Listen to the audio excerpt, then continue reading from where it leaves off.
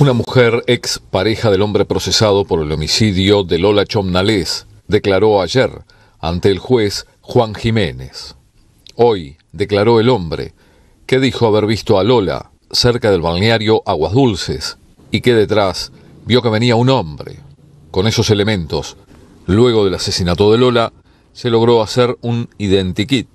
En esta oportunidad, el hombre llegó hasta la sede penal para tratar de reconocer si quien había visto en aquella oportunidad es el mismo que ahora está procesado por el homicidio de Lola. El testigo no reconoció al hombre procesado por el crimen de la turista argentina. Según los datos que se conocieron en esta jornada, el procesado por el homicidio de Lola habría manifestado que quiere llegar a un acuerdo con la justicia. Se estima que el hombre podría confesar haber sido el autor del homicidio de Lola. Las pruebas contundentes que tiene el juez Juan Jiménez contra el procesado están en el ADN que encontraron en la toalla de Lola.